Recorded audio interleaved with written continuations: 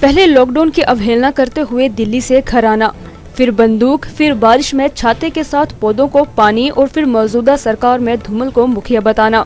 इन सब बातों से तो ऐसा लगता है कि मंडी लोकसभा सांसद को अपना मानसिक संतुलन बनाए रखने के लिए घर में बैठ आराम करना चाहिए।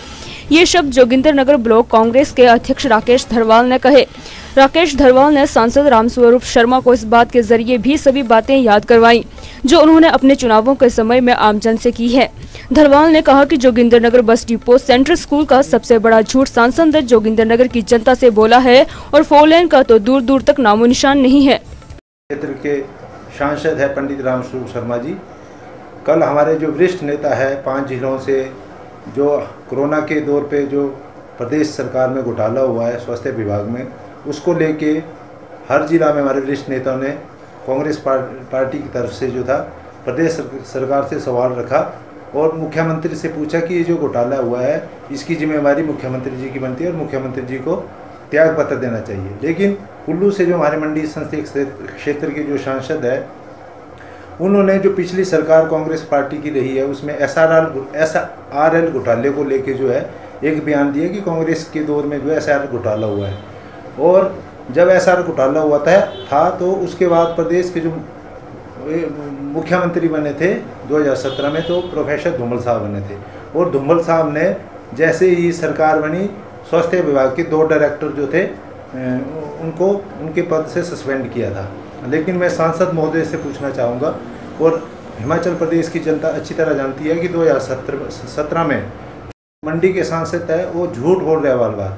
हमारा उनसे सवाल है, या तो अपने जो उनका आत्म चिंतन है वो आत्म चिंतन करें और अपना जो उनका मानसिक संतुलन जो हिल गया है, उसका अपना मानसिक संतुलन का सही ढंग से इलाज करवाएँ। क्योंकि अगर प्रदेश के अंदर जब कांग्रेस की सरकार रही है, अगर इस तरह का कोई घोटाला हुआ है तो आज हिमाचल प्रदेश के अंदर भारतीय जनता पार्टी की सरकार है, भारतीय जनता पार्टी के मुख्यमंत्री है, और उनको उसकी जाँच करवानी चाहिए।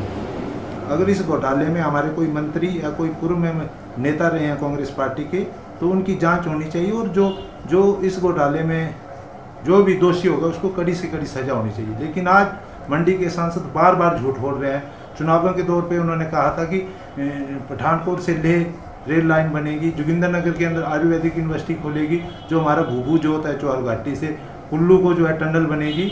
और बहुत सारे उन्होंने कहा था जोगिंदर नगर के अंदर सेंटर स्कूल बनेगा जोगिंदर नगर के अंदर बस डिपो की घोषणा हुई थी। बार बार झूठ बोल रहे हैं और झूठ बोल बोल के जो है अपना जनता के सामने मज़ाक मना रहे हैं। इसलिए हमारी जो मंडी के सांसद है, उनको सलाह है कि वो अपना आंतव चिंतन जो है ढंग से करें और ऐसी बयानबाजी ना दें जिससे मंडी संसदीय क्षेत्र के अंदर जनता के बीच में जो उनका मज़ाक बने नमस्कार। दिव्य हिमाचल टीवी के लिए जोगिंदर नगर से दीपक चौहान की रिपोर्ट।